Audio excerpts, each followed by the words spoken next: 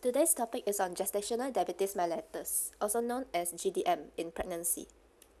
The definition is carbohydrate intolerance resulting in hyperglycemia with onset during pregnancy and resolve within 6 weeks postpartum period. The risk factors for GDM are maternal age more than 35 years old, obesity, and also previous history of GDM. For the screening for GDM, usually we do MOGTT, which is Modified Oral Glucose Tolerance Test, usually done at 16 to 18 weeks, or if there are indications, we do it during the booking visit. And if the first test the results are normal, the second MOGTT will only be repeated at 24 to 28 weeks. So what are the indications to do MOGTT? Firstly, current maternal condition.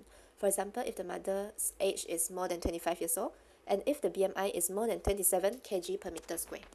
And also for current pregnancy condition, if there is polyhydramnios, which means excessive liquid amount, and also two episodes of glycosuria, when there is glucose in the urine, and multiple pregnancy like twins or triplets, increased weight gain of the mother, which is more than 0.5 kg per week. And for past obstetric history, if there is any history of GDM, history of recurrent miscarriage, and big baby, congenital anomalies of previous babies, and also if there is any unexplained intrauterine death. For the procedure of MOGTT, it is quite simple. The first step, the doctor will ask the patient to fast from 12 a.m. to the next morning. When the next morning 8 a.m., the patient will be asked to come to the clinic to take the fasting blood glucose level. And then after taking the fasting blood glucose level, the patient will be asked to drink a cup of glucose and water to drink within 10 to 15 minutes. After drinking, for after 2 hours, the doctor will take the blood again for the 2 hours postprandial reading. So there are two readings for MOGTT. The first one is fasting blood glucose level. The second one is 2 hours postprandial reading. And for the results, this is the normal, this is the results that will show GDM. So if the fasting blood glucose is more than or equal to 5.1 millimole per liter, and if the two hours after the glucose reading is 7 more than or equal to 7.8 millimole per liter, this confirms GDM. Any one of these two results will confirm GDM. For management of GDM, first the doctor will ask the mother to exercise in order to lose weight.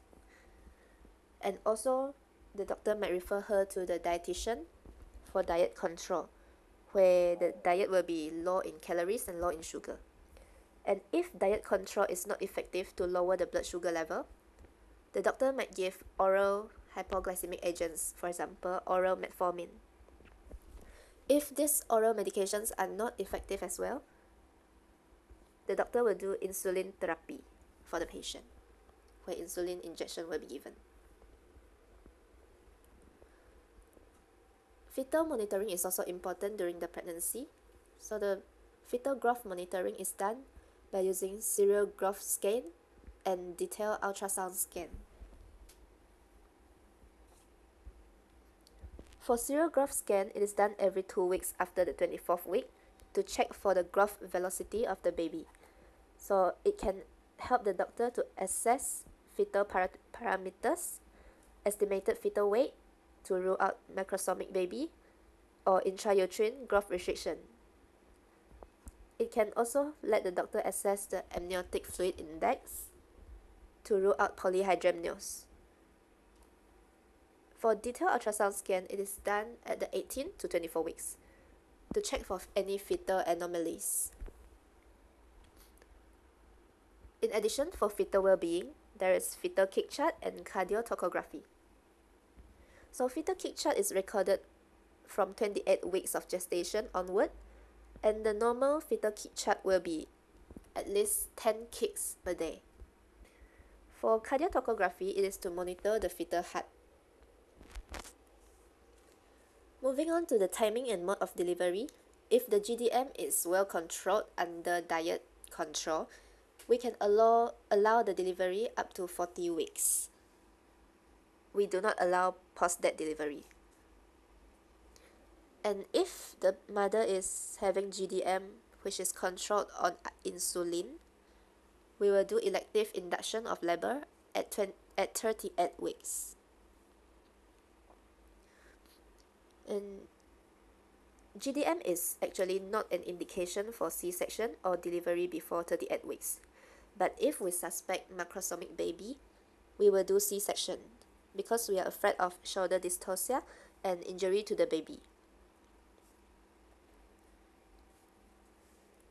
So for complication of GDM, maternal complications are miscarriage, pregnancy-induced hypertension or preeclampsia, preterm labor, pre PROM, which is pre-labor rupture of membrane, recurrent infection, prolonged labor, and operative delivery, mainly because the baby is bigger in size. Whereas for fetus, macrosomic baby, which means big baby, there might be birth trauma or shoulder dystocia, and also polyhydramnios, excessive liquid fluid, respiratory distress syndrome, and you intrauterine death. So that's all for this video.